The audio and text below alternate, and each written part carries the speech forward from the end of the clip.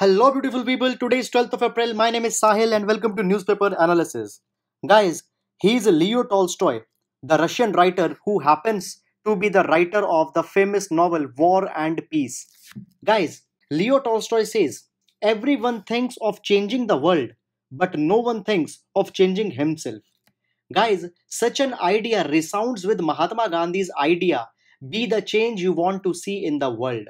Now, guys, these things become even more relevant as when we want to change the social prejudices, the social injustices, we talk about removing them into the society, but we fail to reflect in ourselves. So, guys, if every person be his own torch bearer, then all these things could be dispelled from the world. Guys, this particular thing you can remember for your GS paper number 1, social issues. You could use it as an example in GS paper number 2, social justice. Moreover, it becomes even more relevant into GS paper number 4, ethics, along with your paper on essay.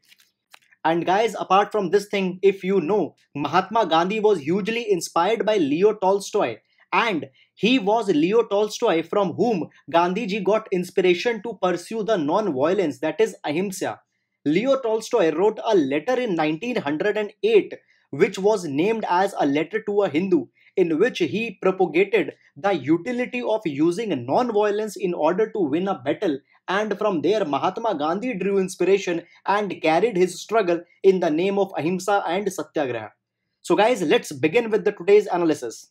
Guys, this is the first page of the Hindu newspaper and we can see here a news item which says that the chief ministers raises fund crunch with the prime minister. Guys, we can see this news with respect to GS paper number 2, devolution of funds up to the local levels and with respect to the prelims polity. Now guys, with respect to Constitution of India, the center as well as states have been tied in a federal relation where it is supposed that both center as well as states are supreme in their own sphere. However, guys, it is also the truth that constitution has favored a strong center where sometimes center have been given upper hand, but essentially we follow a kind of a federal system. Now, in this federal system, states have been given their own legislative, executive, as well as financial powers. But, guys, particularly into the financial sphere, states are now facing a crunch, particularly after the coming of the GST regime. Now, if we talk about the financial front, states raise their revenue by certain following major ways. Okay, guys, there could be other also. So, major ways are there. First of all, they can raise money by the taxes. Guys, after that, they get a share into the central divisible pool. Now, central divisible pool means that there are certain tax allocations that are going to the center now, whatever center is receiving into these allocations, they will be distributed between to the different states. Now, this what amount will be distributed that is told by the Finance Commission of India, which is constituted under Article number 280. For example, if 100 rupees is coming to the center, some part will be given to the state, some part will be given will be kept by the center. Right now, 14th Finance Commission recommends that 42% of the money should go to the states whereas remaining money should be kept by the center so this is the next major source from where they get the money apart from that under the article 280 finance commission can also recommend certain grants that are to be given to the states moreover guys there are certain other specific funds also through which the states get money for example under the National Disaster Management Act, states are given certain money to fight the disaster. Guys, under NDMA Act, there is section number 48 which provides that there should be the State Disaster Response Fund. Now, into the State Disaster Response Fund, the money is given by the center, and whenever there will be some disaster, notified disaster, money from here it will be used. Moreover, guys, if need arises, then the money could also be transferred into the state disaster response fund by the ndrf that is national disaster response fund if sometime money is less here. So guys these are the major sources by which the state is getting money. Apart from that also there are certain sources i told you. Now what is happening? Due to the COVID 19. Now, states need to make huge expenditure on health, and for this, they need a large sum of money. Guys, now from where the states can make this expenditure? They can raise expenditure from the money that they are getting from the taxes. But now, after the coming of GST, what had happened? States had given their taxation sovereignty to the center as majority of indirect taxes which were earlier part of the states now they are being subsumed under the gst which is collected by the center in return center reimburses the state. Now guys what had happened? There are huge dues which have to be given by the center to the states but those dues have not been cleared till now and those dues amount to be more than 44000 crore rupees. So states are complaining that we don't have any money how we can make the expenditure Secondly, guys, what can happen? The states can access the money given under the state disaster response fund, but the money is alleged that it is very less, and Kerala is complaining that they are having a large number of cases, but still very less number of money has been given here under the SDRF, so they are not happy here also. Thirdly, guys, if you remember, just a couple of days back, we had discussed the discontinuation of the MP LADS scheme, that is, Member of Parliament Local Area Development Scheme. Under this scheme, every MP was given 5 crore rupees, which was at their personal disposal, which could be used in order to make any developmental expenditure.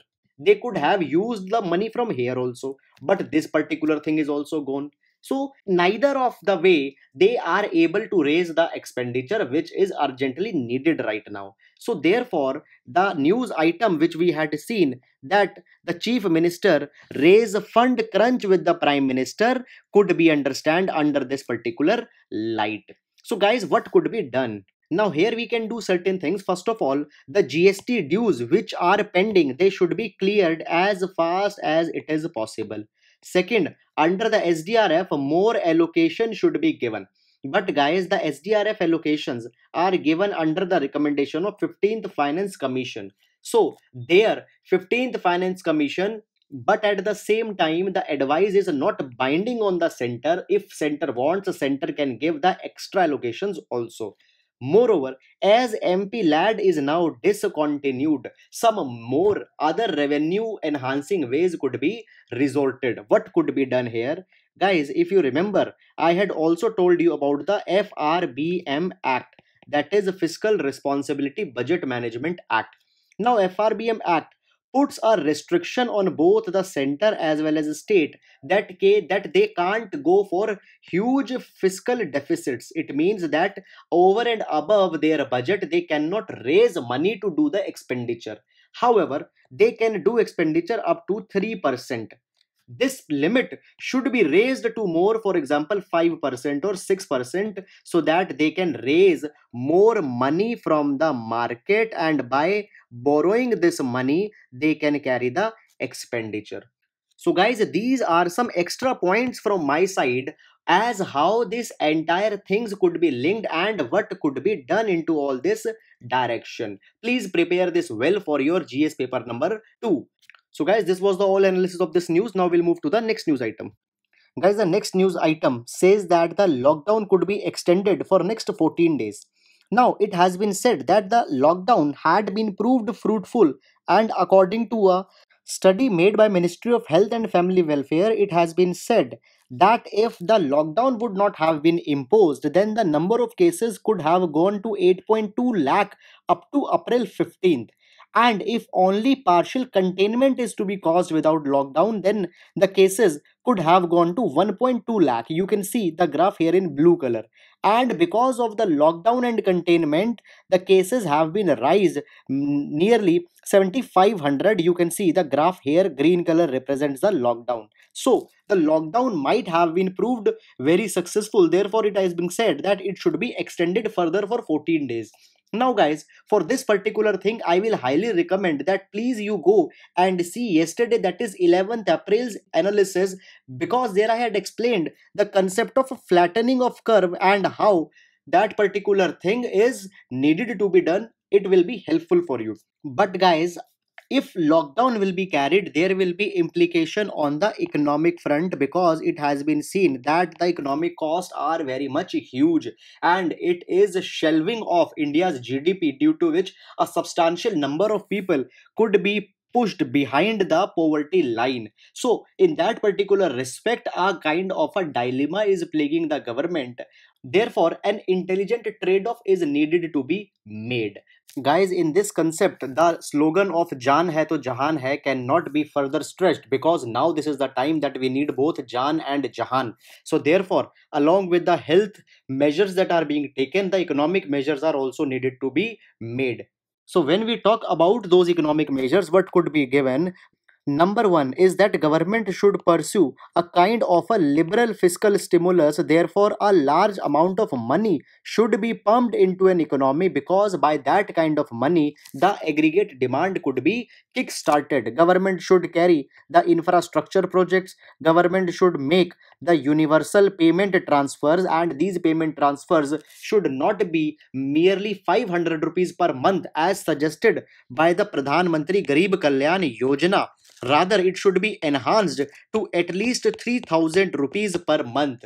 Secondly, there could be certain other tax relaxation measures. For example a gst holiday could be given for a limited period of time. Now if we give for this gst holiday then there will be an expenditure up to the tune of 3 lakh crore rupees. But guys into the long term if economy is kick-started this cost could be recovered thirdly in order to reduce the inflation government can give certain relaxation into the price of petrol as well as diesel because right now the crude prices are historically low due to the ongoing oil crisis going into the region of Gulf. So, but government had not passed that cost to the consumers because government had increased their excise duty by the equivalent amount though government is also justified by increasing the excise duty as government's own revenue sources are very low. But guys half of the amount at least could be passed on to the customers so that inflation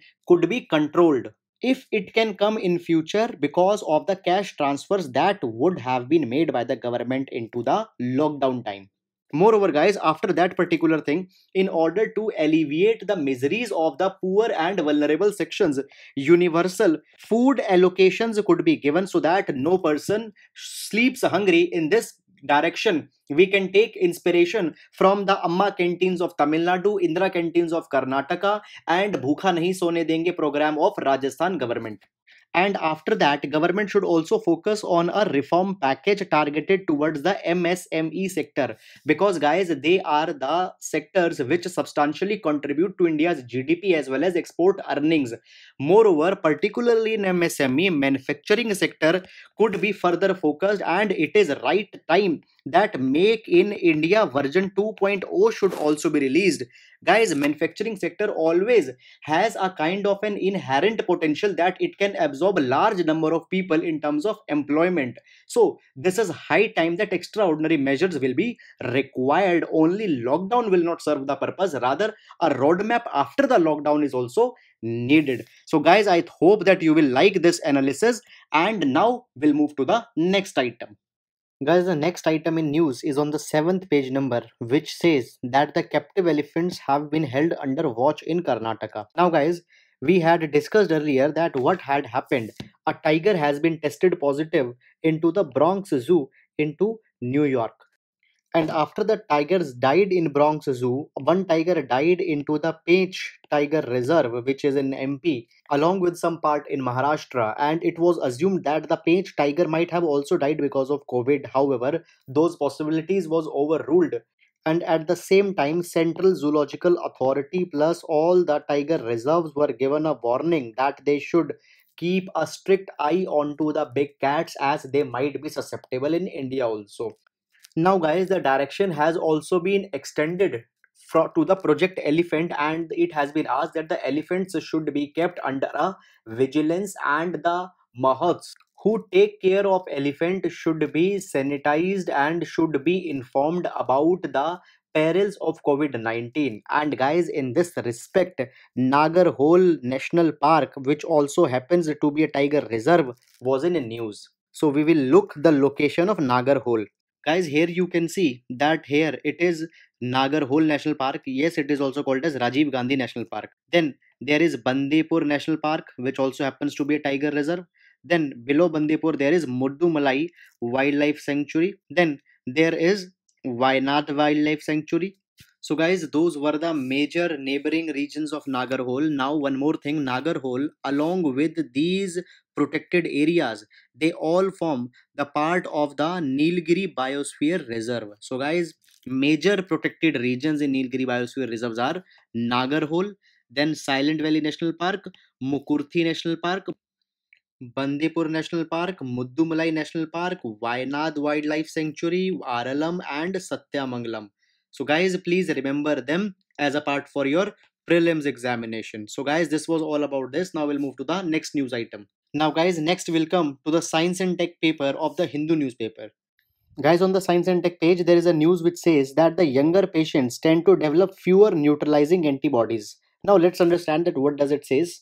Guys, first of all, we had also discussed the mechanism of COVID-19 in detail into the 29th of April discussion. For reference, if you want, you can see that discussion also. Now guys, whenever the virus enters into the body, so virus is an antigen. In response, antibodies are developed. So guys, here we can see that this happens to be an antigen and this happens to be an antibody. So how's a neutralizing antibody works? Suppose this is an antigen. Now these neutralizing antibodies will be making a kind of a layer outside these uh, virus and will avoid the virus to interact with the nearby cells or any other body. So this is actually the function here. So guys now one thing is very clear that in large number if there will be this neutralizing antibodies they will be able to encircle the large number of virus strains and in that way it will be able to help the body to recover. Now now, guys, world over, it is being said that the elderly people are more, more vulnerable to COVID 19. But recently, a research has been made, and in this research, the blood samples of the patients were tested who had recovered from COVID 19 and it has been found that elderly and middle age people they tend to have more amount of neutralizing antibodies than the people who were of the younger age now these neutralizing antibodies can bind with the spikes which are there on the coronavirus and can neutralize the virus now guys, the antibodies need to bind around these spikes only because these spikes are the points by which the virus communicates with the receptors on the cell surface and enters into the cell. So we need to attack here. Now guys, one more thing. If these neutralizing antibodies will be into the large number, then the person's immunity will be stronger and can fight the virus into a more resurgent way. So guys this was the entire mechanism here. There are certain conclusions also that we would like to draw here. Number one there is no relation into the higher number of antibodies as well as into the number of days a person took to recover. Both the people having high antibodies as well as low antibodies took a similar time to recover. Secondly guys the efficiency of medicine can also be gauged from this fact. See if a medicine will be able to produce more antibodies then these more antibodies will be able to fight the virus into a more effective way.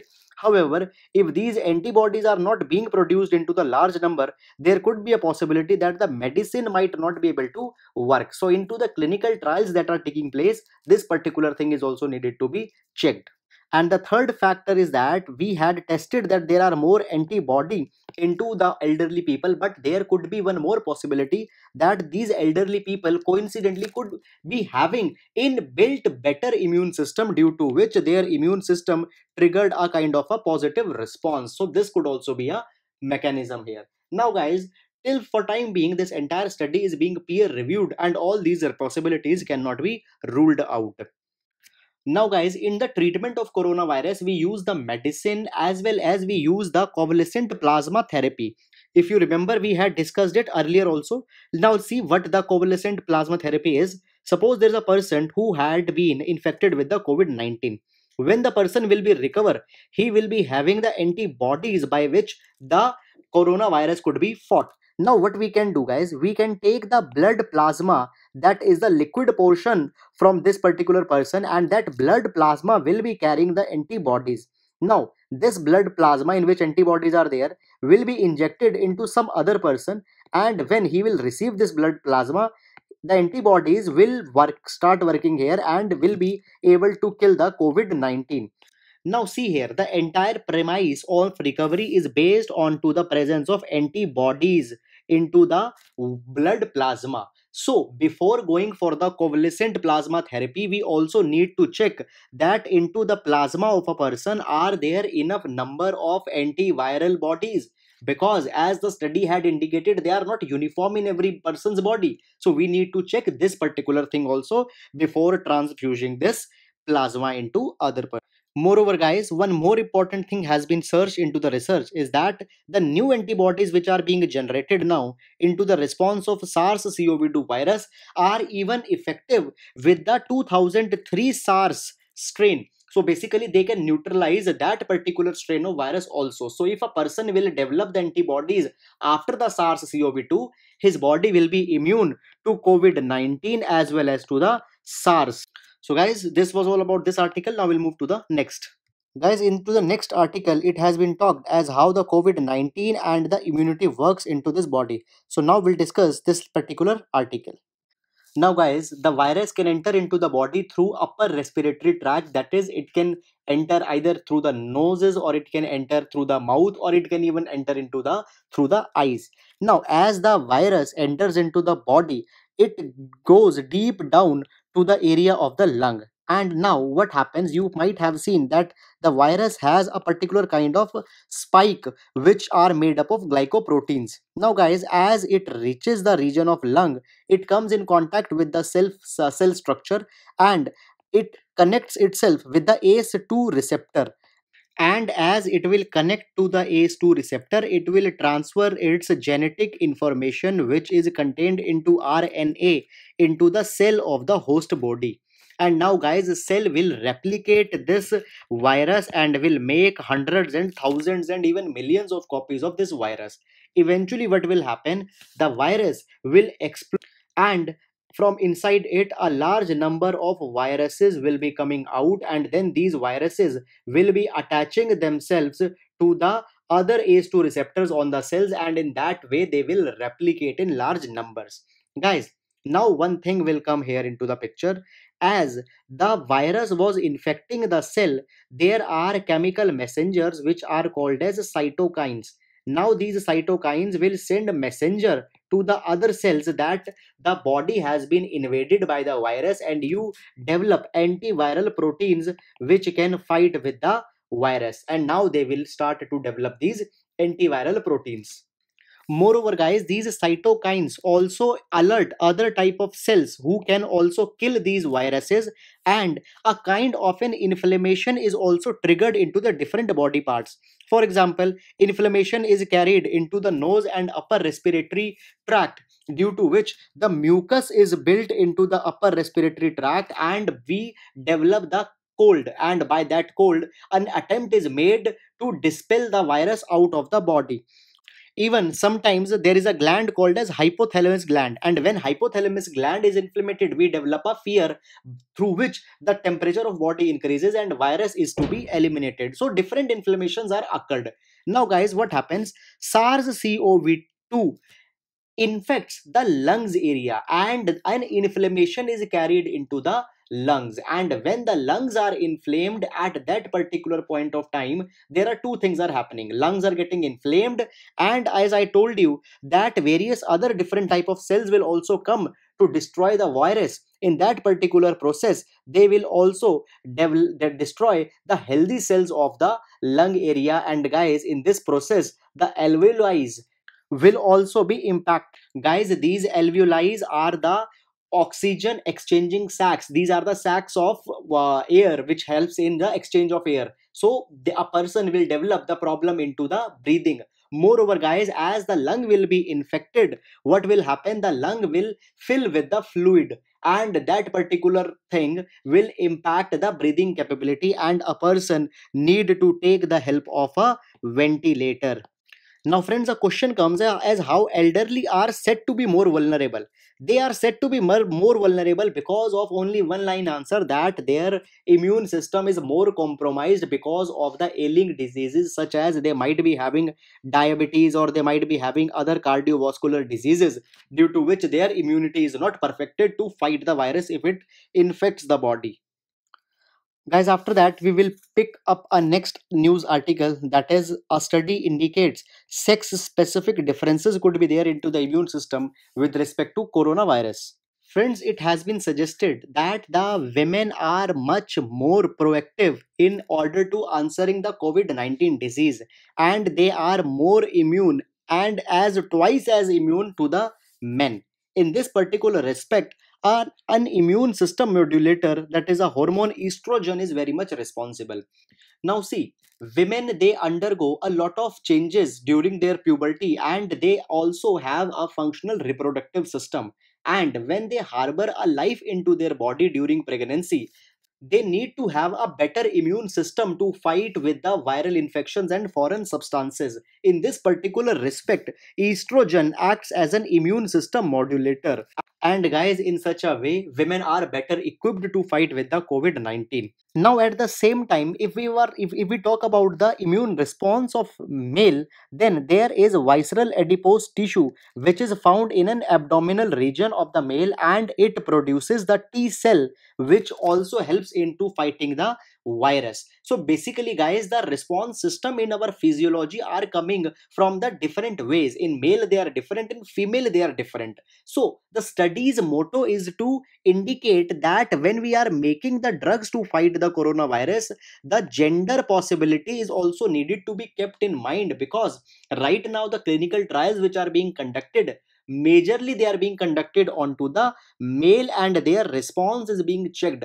However when the same medicine will be administered to the female their immune system might react in a different way. So this possibility should also be born into the mind.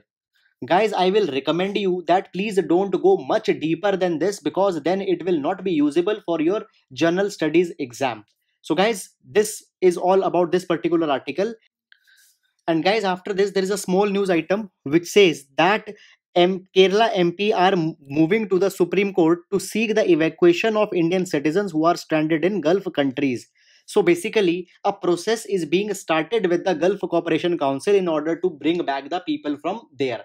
Now, for the prelims exam point of view, we need to see that who are the members of GCC countries. Now, guys, these GCC countries they aim to foster a better environment and help each other in the terms of economic as well as other type of exigencies. Guys right now the gulf cooperation council is also aiming to reduce their dependence onto the oil into the future times. Now we need to see the members of gcc guys there are six countries which are the members of gcc now in persian gulf except iraq all the people are the members. So there are six countries. First of all there is a kuwait after Kuwait, there is Bahrain. After that, there is Saudi Arabia. Then there is Qatar. There is UAE. And then there is Oman. So, guys, please get, keep them into your mind for your prelims. So, guys, this was all about today's newspaper discussion. I hope you have liked the discussion. If you are liking our videos, then please do subscribe to our channel and please share it. Thank you so much.